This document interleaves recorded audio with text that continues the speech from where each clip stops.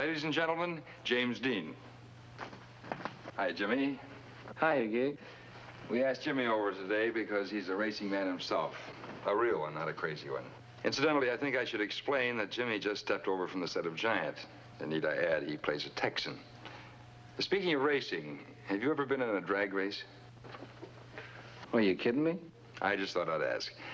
No, Jim races in the tradition, you might say. Real racing cars, real tracks. How fast will your car go? Oh, an honest miles an hour. Clocked, it run about 106, 7. You've won a few races, haven't you? Oh, one or two. Where? Well, I showed pretty good at Palm Springs. I ran at Bakersfield. Jimmy, we probably have a great many young people watching our show tonight, and for their benefit, I'd like your opinion about fast driving on the highway. Do you think it's a good idea? A good point. I, uh, I used to fly around quite a bit, you know. I took a lot of unnecessary chances on the highways.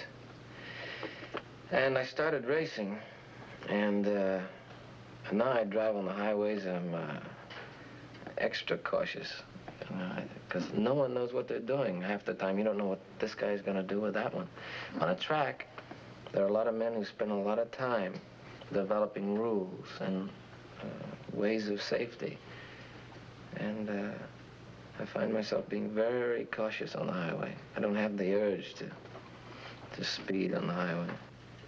People say racing is dangerous, but I'll take my chances on the track any day than on a highway.